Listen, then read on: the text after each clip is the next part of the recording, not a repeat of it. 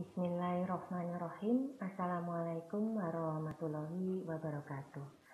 Bertemu lagi dengan saya pada mata kuliah keamanan sistem komputer di hari ini, hari Selasa, tanggal 22 September 2020. Pada malam hari ini untuk kelas SKS 17.2 kita masuk pada pertemuan yang kedua. Nah, untuk pertemuan yang kedua ini nanti kita akan masuk ke materi baru dengan tema social engineering. Baiklah, uh, untuk lebih mempersingkat waktu langsung saja kita masuk ke tema materi pada malam hari ini. Kita masuk saja ke PPT tentang social engineering. Mungkin tema social engineering ini atau istilah social engineering ini sudah pernah Anda dengar sebelumnya ya. Dan memang untuk uh, social engineering ini merupakan masalah keamanan yang cukup sering terjadi kaitannya dengan kehidupan sehari-hari kita. Jadi eh, kebiasaan kita sebagai makhluk sosial yang saling berinteraksi antara satu dengan yang lain itu ternyata memiliki peluang di mana peluang tersebut dari sisi berkomunikasi melalui jalur informasi ini bisa dimanfaatkan oleh beberapa pihak untuk uh, mendapatkan informasi yang sebenarnya sifatnya privasi atau rahasia. Nah, di sini kita lihat dulu pengertian daripada social engineering. Social engineering ini merupakan kegiatan untuk mendapatkan informasi rahasia. Ya, jadi yang dicari itu adalah informasi, tapi yang sifatnya itu penting atau private, ya dengan cara menipu pemilik informasi tersebut. Nah, kira-kira informasi yang sifatnya rahasia atau penting itu apa saja? Nah, biasanya yang melekat pada diri kita sebagai makhluk pribadi di sini adalah identitas diri. Nah, jadi identitas diri itu yang pertama kalau kita ya ada nomor induk kependudukan ya. Nah, ini jadi yang namanya KTP itu kadang bisa disalahgunakan apalagi kalau ada e, beberapa tempat yang ternyata ada pihak yang memiliki beberapa kartu identitas. Jadi di daerah A dia juga memiliki kartu identitas, di daerah B juga memiliki kartu identitas. Sebetulnya kalau e, dari pihak pengelola kartu identitas itu sendiri itu bisa memberikan batasan ya yang tegas bahwa hanya satu nomor induk yang dimiliki oleh penduduk dan tersebut itu bisa langsung kelihatan posisinya di mana. Tidak bisa satu orang itu memiliki beberapa nomor identitas itu mungkin akan berbeda ya. Tapi karena sikonnya itu lain. Sikon yang lain maksud saya di sini kadang-kadang kita memiliki beberapa kartu tersendiri. Katakanlah untuk e, kartu identitas untuk KTP saja itu kita bisa memiliki sendiri. Nanti untuk kartu identitas yang arahnya ke BPJS kita juga memiliki sendiri. Nanti yang kartu arahnya ke NPWP kita memiliki sendiri. Nah, seandainya dalam satu kartu itu kita bisa langsung link ke beberapa informasi tersebut, mungkin hal-hal seperti ini juga bisa teratasi. Tetapi kita tidak bisa langsung menjamin bahwa semua itu aman ya. Karena bagaimanapun eh, ke depan itu segala peluang itu bisa memungkinkan untuk menimbulkan yang namanya kejahatan. Nah, kembali lagi ke sini, tema kita malam ini tentang social engineering. Uh, untuk social engineering sendiri umumnya dilakukan melalui telepon dan internet. Nah, berarti data-data kita yang sifatnya rahasia dan ada di kedua hal ini, di kedua bidang ini, baik melalui telepon ataupun media internet, itu berpeluang untuk memiliki uh, istilahnya jalur informasi yang bisa mengakibatkan pihak tertentu untuk menyalahgunakan informasi tersebut. Nah, kadang-kadang di antara kita karena mungkin untuk lebih praktisnya itu menyimpan informasi seperti eh, kata-kata uh, sandi, kemudian nomor PIN dan sebagainya di dalam telepon. Ya, bahkan dalam telepon kita biasanya tersimpan nama-nama eh, teman-teman kita mungkin sudah kita kelompok-kelompokkan ya. Nah, ini yang kadang mempermudah beberapa pihak yang menyalahgunakan informasi tersebut. Ya. Nah, kemudian yang internet. Internet sekarang juga marak terjadi e, bagaimana orang menyalahgunakan akun Facebook ya. Jadi ada yang membaca akun tertentu, kemudian e, menyalahgunakan akun tersebut untuk kemudian mendapatkan keuntungan pribadi melalui teman-teman dari akun tersebut ya. Nah, mungkin teman-teman dari akun tersebut tidak menyadari bahwa yang sedang berbicara yang sedang melakukan informasi di media sosial tersebut adalah pihak lain. Nah, ini yang memang harus kita waspadai. Karena tidak bisa atau tidak ada jaminan di mana pun itu bisa aman. Tapi paling tidak kita bisa memberikan proteksi bagaimana menjaga agar tidak terjadi permasalahan salah satunya adalah social engineering ini. Nah, social engineering merupakan salah satu metode yang dipergunakan oleh hacker untuk memperoleh informasi tentang targetnya. Ya, jadi hacker ini punya target. Targetnya info tentang apa yang ingin dia gali dari korban tersebut. Dengan cara meminta informasi itu langsung kepada korban atau pihak lain yang mempunyai informasi itu. Nah, bahkan mungkin tanpa kita sadari, kita sendiri sudah menjadi korban dan sedang dimintai data oleh hacker. Nah, ini yang yang kadang-kadang kita tidak tahu ya, karena social engineering ini e, sangat halus, tidak kelihatan dan layaknya seperti kehidupan kita sehari-hari. Jadi dia mempelajari bagaimana kebiasaan kita. Ya, misalkan kita itu di media sosial kebiasaannya apa, kemudian mungkin dari status uh, eh, WA yang ada di nomor telepon itu juga bisa kelihatan keseharian kita itu biasanya ngapain. Yang kadang dari kebiasaan itu bisa dipelajari untuk kemudian dipergunakan untuk menipu pihak lain. Yang pihak lain ini tentunya punya hubungan dengan kita sebagai rekan. Nah hal ini bisa dilakukan dengan pendekatan manusiawi melalui mekanisme interaksi sosial Nah, social engineering mengkonsentrasikan diri pada rantai terlemah sistem jaringan komputer, yaitu manusia. Ini kalau kita ketahui kita itu punya yang namanya human error. Faktor human error ini besar sekali, sehingga tidak bisa kita uh, jadikan sebagai jaminan untuk aman, ya. Seperti kita ketahui, tidak ada sistem komputer yang tidak melibatkan interaksi manusia. Nah, bahkan dalam sebuah sistem komputer yang secanggih apa pun, ini tetap ada keterlibatan interaksi manusia di dalamnya.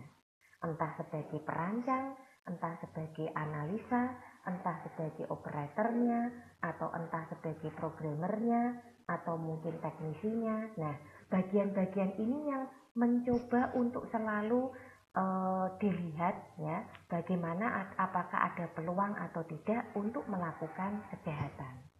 Nah, parahnya lagi celah keamanan ini bersifat universal, tidak tergantung platform, sistem operasi, protokol, software ataupun hardware. Karena ini sudah uh, ngambilnya dari pihak manusia sebagai user ya. Nah, kemudian dari kondisi ini bisa disimpulkan bahwa setiap sistem itu mempunyai kelemahan yang sama pada sisi faktor manusia sebagai user. Nah, setiap orang yang mempunyai akses ke dalam sistem secara fisik itu merupakan ancaman. Ya, jadi kita tidak bisa menyebutkan bahwa administrator itu pasti nanti akan menjamin. Ini semua punya peluang. Bahkan jika orang tersebut tidak termasuk dalam kebijakan keamanan yang telah disusun. Apalagi yang tidak termasuk ya, kadang-kadang ketika membuat sistem itu kita membagi e, keamanan sistem itu terutama dalam hal pembagian hak akses. Jadi ketika akan login ini ada batasan-batasan e, untuk pihak administratornya siapa saja, untuk pihak pimpinan itu sejauh mana hak aksesnya, kemudian untuk pihak uh, operator sendiri itu sampai mana. Nah, bahkan bagi orang-orang yang tidak termasuk dalam susunan uh, kebijakan tersebut, ini juga merupakan ancaman pihak out, output atau katakanlah pihak luar ya, pihak luar dari sistem tersebut. Mungkin sebagai uh, pengakses lain bisa dikatakan seperti itu. Seperti metode hacking yang lain, social engineering juga memerlukan persiapan Bahkan sebagian besar pekerjaan meliputi persiapan itu sendiri. Di sebuah perusahaan, seorang network admin sudah menerapkan kebijakan keamanan dengan baik. Ini contohnya ya. Nah, namun ada user yang mengabaikan masalah keamanan itu. Namanya mengabaikan ini sudah masuk faktor human error dan itu bisa terjadi pada siapa saja meskipun sudah ada administrator yang mengatur. Misalnya, user tersebut menggunakan password yang mudah ditebak. Lupa logout ketika pulang kerja. Jadi sudah pakai passwordnya itu gampang, mungkin nama bagian ya, misalkan gudang atau admin atau apa misalkan ya. Kemudian ketika pulang kerja itu lupa untuk di logout atau dengan mudahnya memberikan akses kepada rekan kerjanya yang lain atau bahkan kepada klien.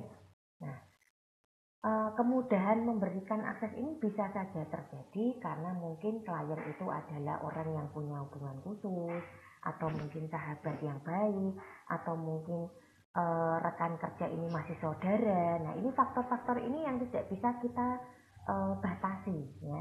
Kemudian hal ini tentunya dapat menyebabkan seorang hacker itu memanfaatkan celah tersebut dan mencuri atau merusak data penting perusahaan. Ini salah satu contoh. Nah, kemudian contoh yang lain, misalkan kita membuang sampah yang bagi kita tidak berguna, dapat dijadikan orang untuk kepentingan yang lain. Sebagai contoh slip gaji atau slip ATM. Nah, ternyata selama ini kedua informasi ini cukup penting. Nah, kadang-kadang kita kan kalau habis mengambil uang dari ATM, kemudian slipnya itu kita buang di tempat sampah yang sudah disediakan di sebelah mesin ATM. Nah, ternyata informasi seperti itu terkadang masih dicari oleh hacker untuk melihat adakah peluang bagi hacker tersebut untuk kira-kira bisa melakukan uh, pencurian data atau informasi terkait dengan data perbankan dari kita. Nah, barang tersebut uh, mungkin kita buang karena tidak kita perlukan.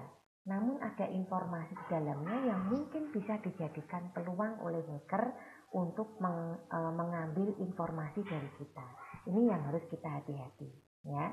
Jadi ini adalah beberapa contoh yang e, nyata simple dan mungkin terjadi di lingkungan kita atau bahkan dalam kehidupan kita sehari-hari. Nah, di sini ada titik lemah manusia yang bisa dimanfaatkan. Ya, biasanya ini peluang-peluang untuk hacker itu melakukan pencurian informasi atau data. nah, titik lemah itu meliputi yang pertama rasa takut. Jika seorang karyawan atau pegawai dimintai data atau informasi dari atasan, polisi atau penegak hukum, biasanya yang bersangkutan akan langsung memberikan tanpa merasa sungkan. Nah, bisa jadi dari beberapa bagian ini, entah itu dari pihak atasan, polisi, atau penegak hukum, ini ada peluang atau celah bagi pihak hacker untuk mencuri data.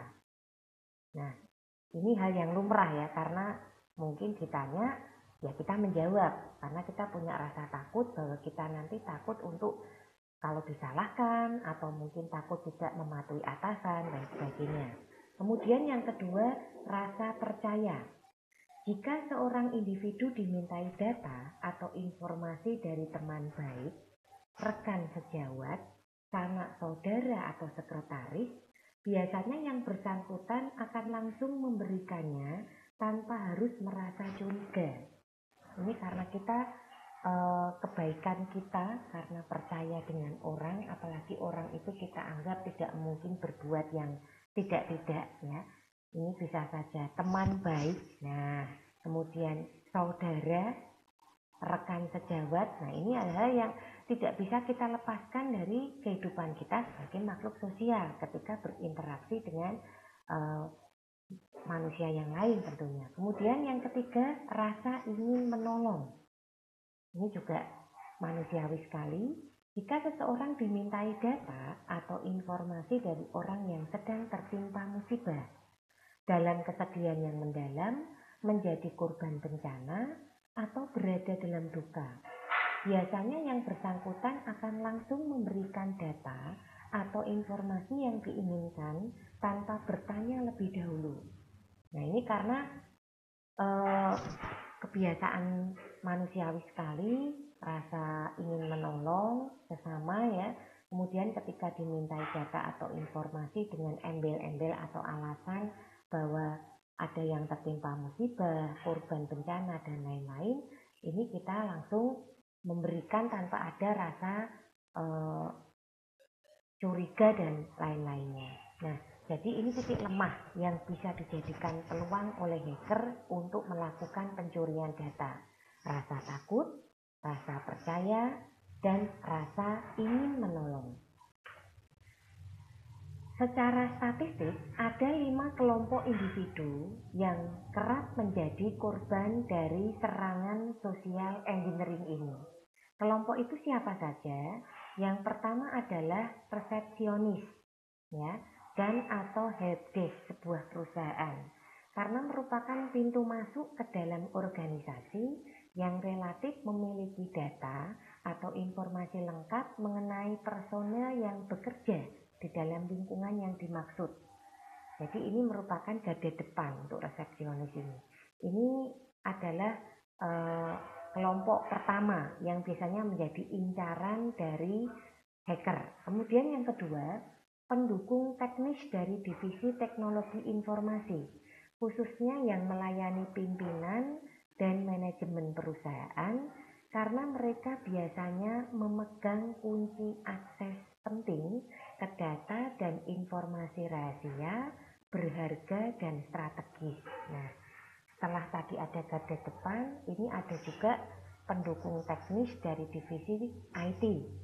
Ya, jadi melayani pihak pimpinan manajemen perusahaan karena mereka memegang kunci akses untuk masuk ke data rahasia. Kemudian yang ketiga, administrator sistem dan pengguna komputer. Karena mereka memiliki otoritas untuk pengelola manajemen password dan akun semua pengguna teknologi informasi di perusahaan. Nah, administrator di sini sebagai pengelola password dan akun Tentunya kalau sudah dapat password sama akun itu sudah tidak perlu lagi bertanya yang lain, sudah langsung masuk ke sistem ya. Ini yang berbahaya. Kemudian yang keempat, mitra kerja atau vendor perusahaan yang menjadi target.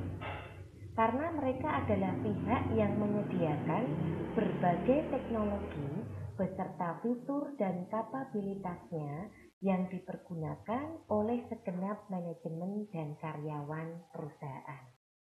Nah, jadi ini hati-hati juga ya. Pihak mitra atau vendor itu juga menjadi target. Jadi ini karena mereka ada kerjasama ya. Nah kemudian yang kelima karyawan baru yang masih belum begitu paham mengenai prosedur standar keamanan informasi di perusahaan.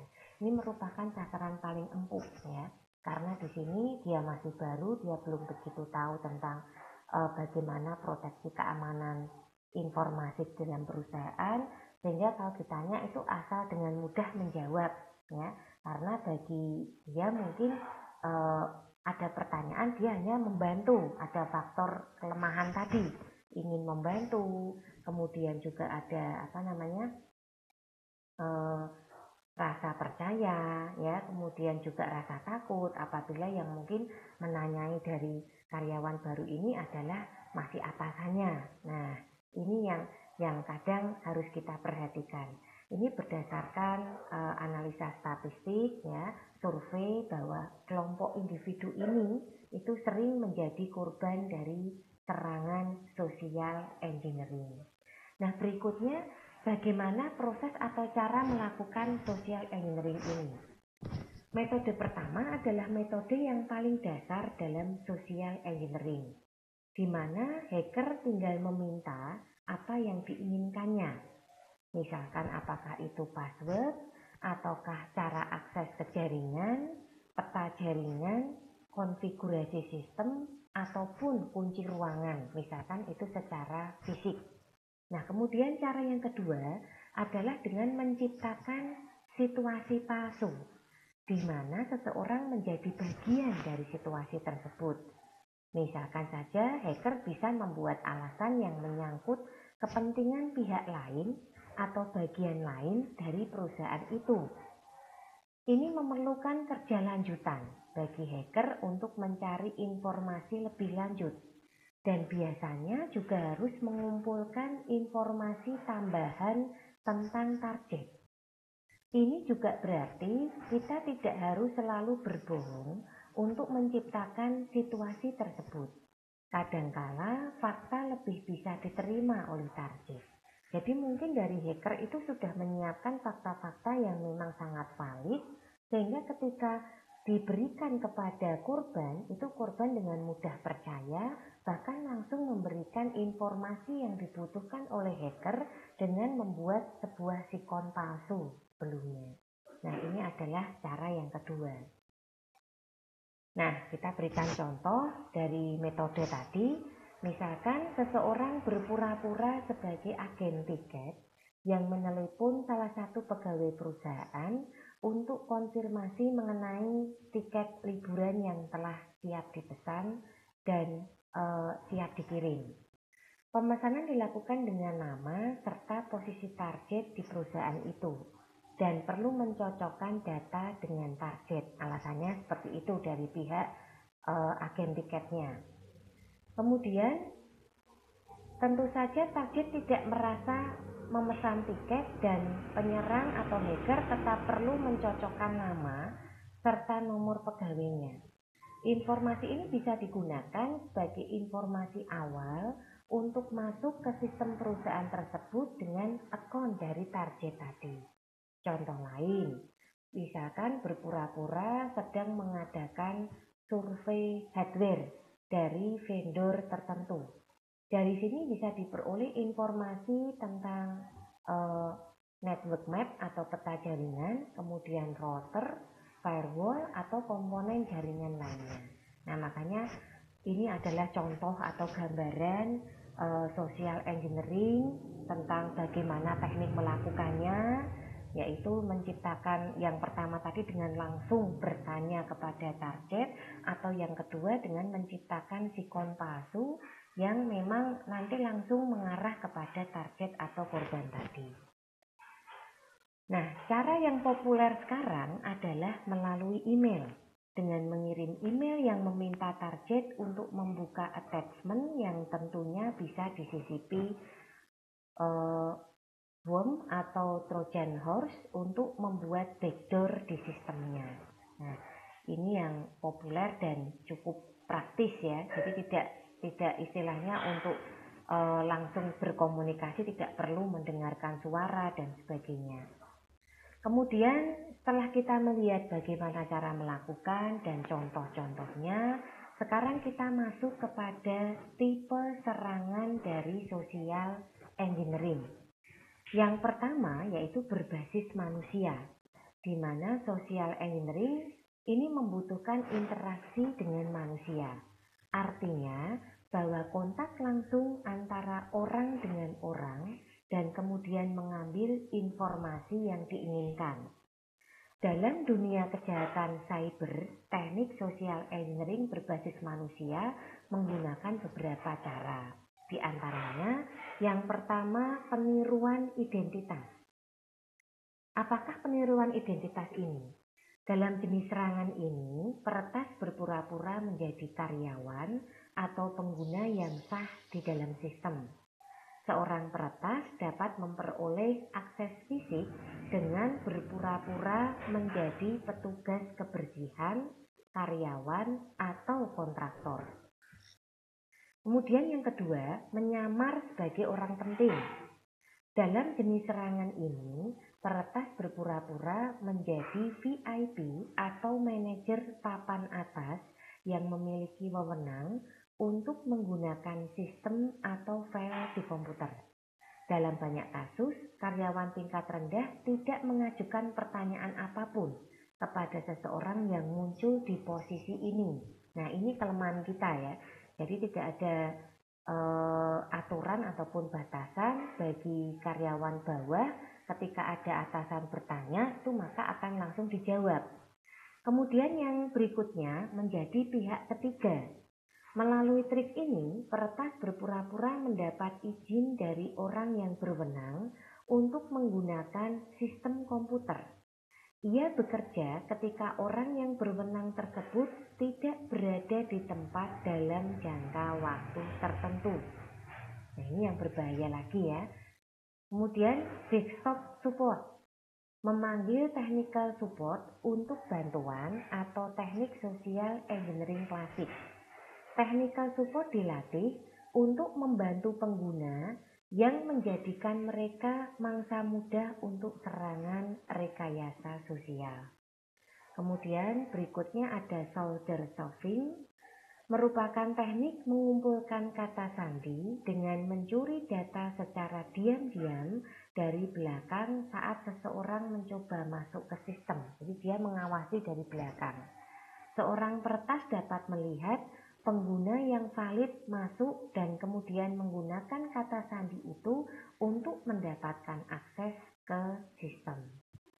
Kemudian yang berikutnya adalah dumpster diving di mana ini adalah mencuri data dari sampah.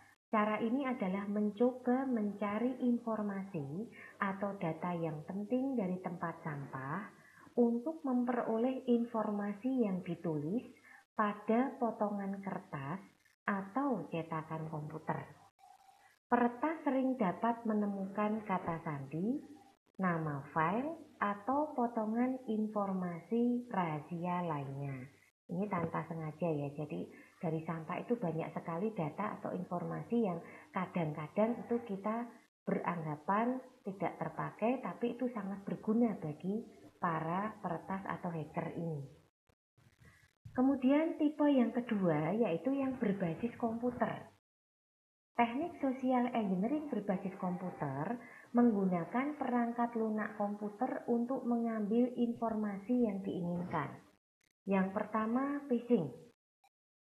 Phishing melibatkan email palsu, chat, atau situs web yang dirancang untuk meniru situs aslinya dengan tujuan memperoleh data sensitif.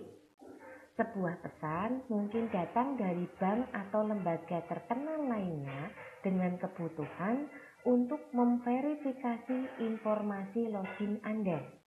Ini biasanya akan menjadi halaman masuk yang dibuat sedemikian rupa dengan semua kelengkapan seperti logo yang terlihat sah. Yang kedua, umpan. Umpan biasanya melibatkan sesuatu yang diinginkan untuk kita uh, untuk memikat kita ya agar mengambil tindakan yang diinginkan si penjahat. Hal ini bisa dalam bentuk mengunduh musik atau film di situs peer-to-peer atau dapat berupa USB flash drive dengan logo perusahaan dengan label yang menarik perhatian yang ditinggalkan di tempat terbuka untuk kita temukan. Kemudian setelah perangkat digunakan atau diunduh, orang atau komputer tersebut terinfeksi oleh malware yang memungkinkan penjahat untuk masuk ke sistem kita. Nah, kemudian yang berikutnya penipuan online. Ini yang sering terjadi. Email yang dikirim oleh scammer mungkin memiliki lampiran yang menyertakan kode berbahaya di dalam lampiran. Lampiran tersebut dapat menyertakan keylogger untuk menyadap kata sandi atau bisa berupa virus, trojan, atau worm. Terkadang jendela pop-up juga dapat digunakan dalam serangan social engineering. Jendela pop-up yang mengiklankan penawaran khusus dapat menggoda pengguna agar secara tidak sengaja memasang malware yang berbahaya. Berikutnya spear phishing.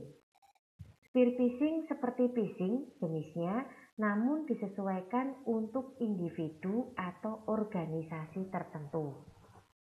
Jadi ini sifatnya lebih khusus. Kemudian yang berikutnya pretexting adalah ketika satu pihak berbohong kepada pihak lain untuk mendapatkan akses ke data istimewa.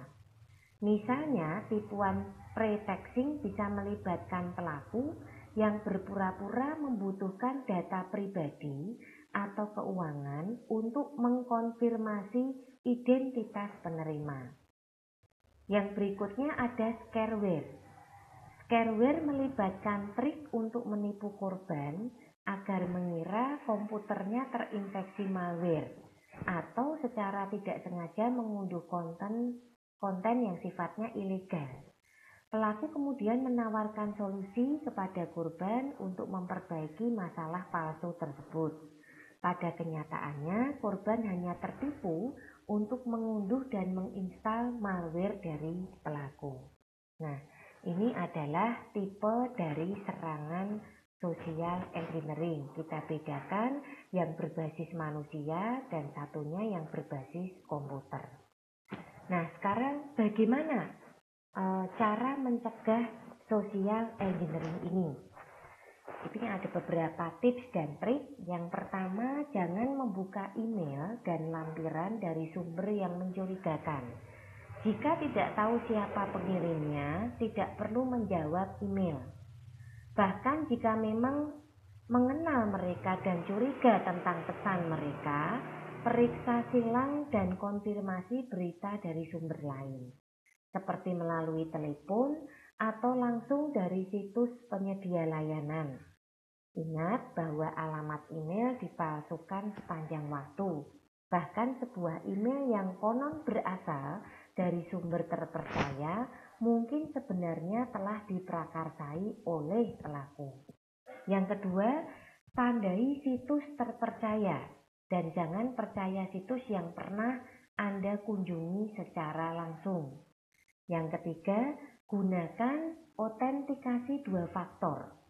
Salah satu bagian paling berharga dari penyerang informasi adalah kredensial pengguna. Menggunakan otentikasi dua faktor membantu memastikan perlindungan akun pengguna jika terjadi kompromi sistem. Secure authentication yang mudah digunakan yang dapat meningkatkan keamanan akun untuk aplikasi pengguna. Yang berikutnya, berhati-hatilah terhadap tawaran yang menggiurkan. Jika tawaran terdengar terlalu menarik, pikirkan dua kali sebelum meyakininya. Melakukan googling terhadap topik yang ditawarkan dapat membantu menentukan dengan cepat apakah sedang berurusan dengan penawaran sah atau jebakan. Berikutnya, berinvestasi dalam solusi keamanan yang efektif, super ringan, itu sangat penting untuk melindungi sistem dan data dari semua jenis ancaman. Terus update perangkat lunak antivirus atau anti malware. Pastikan update otomatis diaktifkan Secara berkala, periksa untuk memastikan bahwa pembaruan telah diterapkan dan pindai sistem untuk kemungkinan infeksi. Dan yang terakhir, edukasi. Program kesadaran dan pelatihan keamanan internal, program harus mempertimbangkan semua faktor yang mempengaruhi perusahaan serta faktor perilaku dan kepribadian. Semua harus direncanakan, dirancang, diimplementasikan, dan diukur. Hal ini harus dibiasakan dalam perusahaan sampai menjadi bagian dari budaya perusahaan. Nah, ini adalah tips dan trik untuk mencegah terjadinya social engineering. Kemudian berikutnya ada jenis cara kerja dari social engineering. Yang pertama yaitu jenis offline. Kita akan melihat beberapa aktivitas offline yang digunakan oleh penjahat untuk melakukan social engineering. Yang pertama yaitu penetration testing. Peretas offline menggunakan metode social engineering yang dikenal sebagai pengujian penetrasi atau pentest.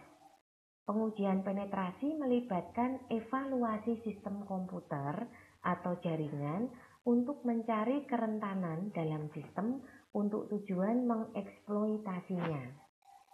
Untuk mendapatkan akses ke sistem sehingga pentest dapat dilakukan, maka peretas meninggalkan kunci USB di area publik, sehingga orang-orang akan mengambilnya dan memasukkannya ke PC kantor, atau mereka mengirim CD kepada pekerja di sebuah perusahaan, sehingga mereka akan memasukkannya ke dalam PC di jaringan. Yang berikutnya eksploitasi VoIP. VoIP berarti Voice over Internet Protocol dengan melibatkan penggunaan telepon. Peretas mengeksploitasi VoIP dengan meninggalkan pesan suara phishing yang memberitahu penerima bahwa ada masalah dengan rekening bank mereka. Ini contohnya. Peretas kemudian meninggalkan nomor untuk dihubungi dan mencoba mengelabui penerima agar menggunakan nomor tersebut untuk selanjutnya memperoleh informasi rekening bank. Yang berikutnya bandit sign.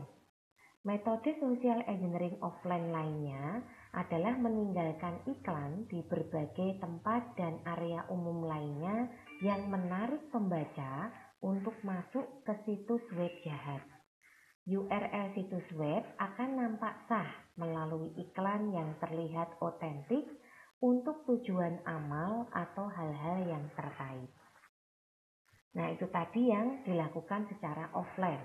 Untuk yang berikutnya adalah jenis yang online. Untuk jenis yang online, yang pertama instalasi malware. Pelaku social engineering menginstal malware melalui semua hal mulai dari aktif X control hingga email dan situs web.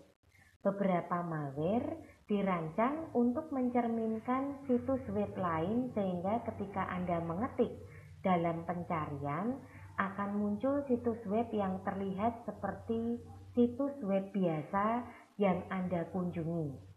Hanya saja Situs ini palsu dan menipu dengan tujuan agar pengguna memasukkan informasi ke dalam situs yang dianggap sah tadi. Yang kedua, serangan yang ditargetkan. Dengan serangan yang ditargetkan, peretas secara khusus mengaitkan instruksi tersebut sehingga serangan diarahkan kepada pengguna secara pribadi. Contohnya termasuk email yang dialamatkan secara pribadi. Email yang disamarkan berasal dari sumber yang sah dan pesan jejaring sosial yang memiliki informasi yang dicuri dari situs resume sehingga informasi dalam pesan tersebut langsung ditargetkan kepada penerima. Yang berikutnya email hoax Social engineering dapat dilakukan melalui pesan email yang menyatakan penerimanya memenangkan lotre atau menjanjikan pengembalian investasi yang tinggi jika berkontribusi dengan sejumlah uang untuk proyek tertentu. Padahal ini adalah penipuan untuk membuat pengguna mengungkapkan informasi pribadi mereka dan kemudian mencuri uang mereka untuk keuntungan finansial dari pihak peretas. Nah, kita masuk pada uh, submateri berikutnya. Apa saja hal yang biasa disarankan kepada mereka di mana mereka ini adalah sebagai pemangku kepentingan aset informasi penting perusahaan. Jadi ini hal yang biasa dilakukan secara individu, di mana individu ini memiliki jabatan penting atau kepentingan terhadap aset informasi di dalam sebuah perusahaan. Yang pertama, selalu hati-hati dan mawas diri dalam melakukan interaksi di dunia nyata maupun di dunia maya. Tidak ada salahnya perilaku ekstra hati-hati diterapkan di sini, mengingat informasi merupakan aset sangat berharga yang dimiliki oleh organisasi ataupun perusahaan. Kemudian yang kedua, organisasi atau perusahaan mengeluarkan sebuah buku saku berisi panduan mengenai informasi yang mudah dimengerti dan diterapkan oleh pegawainya untuk mengurangi insiden-insiden yang tidak diinginkan. Yang ketiga, belajar dari buku, seminar, televisi, internet, maupun pengalaman orang lain agar terhindar dari berbagai penipuan dengan menggunakan modus social engineering. Yang keempat, pelatihan dan sosialisasi dari perusahaan ke karyawan dan unit-unit terkait mengenai pentingnya mengelola keamanan informasi melalui berbagai cara dan giat. Yang terakhir, memasukkan unsur-unsur keamanan informasi dalam standar prosedur operasional sehari-hari. Misalnya saja, clear table and monitor polisi untuk memastikan semua pegawai melaksanakannya dan lain sebagainya. Perusahaan atau organisasi yang bersangkutan perlu pula melakukan sejumlah usaha. Jumlah usaha itu seperti apa? Yang pertama melakukan analisa kerawanan sistem keamanan informasi yang ada di perusahaannya. Kemudian yang kedua, mencoba melakukan uji coba ketangguhan keamanan dengan cara melakukan penetration test. Yang ketiga, mengembangkan kebijakan, peraturan, prosedur, proses, mekanisme, dan standar yang harus dipatuhi seluruh pemangku kepentingan dalam wilayah organisasi. Yang keempat, menjalin kerjasama dengan pihak ketiga seperti vendor, ahli keamanan informasi, institusi penanganan insiden, dan lain sebagainya untuk menyelenggarakan berbagai program dan aktivitas bersama yang mempromosikan kebiasaan peduli pada keamanan informasi. Yang kelima, membuat standar klasifikasi aset informasi berdasarkan tingkat kerahasiaan dan nilainya. Yang keenam, melakukan audit secara berkala dan berkesinambungan terhadap infrastruktur dan suprastruktur perusahaan dalam menjalankan keamanan informasi. Nah, ini dari sisi perusahaan sebagai pelaku organisasi. Kalau tadi dari sisi individu uh, sebagai pihak yang memegang atau punya hak akses terhadap informasi penting di dalam perusahaan. Oke, kira-kira ini tadi uh, adalah tema kita pada malam hari ini itu membahas tentang uh, materi sosial engineering. Nah, untuk berikutnya seperti biasa ini ada kuis yang saya berikan pada akhir pertemuan silahkan dijawab kuisnya pada channel uh, pada kolom komentar YouTube channel nanti yang akan di-sharekan di eh, WA group ya. Nah, di sini untuk kuisnya ada tiga pertanyaan. Yang pertama, sebutkan tiga tipe serangan sosial engineering. Kalau Anda memperhatikan video materi ini tadi, tentunya bisa menjawab pertanyaan kuis yang pertama ini. Kemudian yang kedua, apakah penetration testing itu?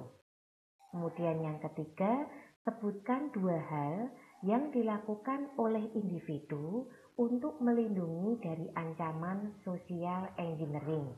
Di sini yang diminta hanya dua saja. Nah, silahkan dijawab pada kolom komentar YouTube channel. Baiklah, untuk kelas SKS 17.2 kira-kira itu yang bisa saya sampaikan pada materi untuk hari ini. Eh, semoga bisa dipelajari dan jangan lupa tetap untuk materi yang saya berikan disimpan sebagai bahan catatan virtual yang kemudian nanti bisa dijadikan eh, bahan acuan jika kita akan melaksanakan UTS ataupun UAS.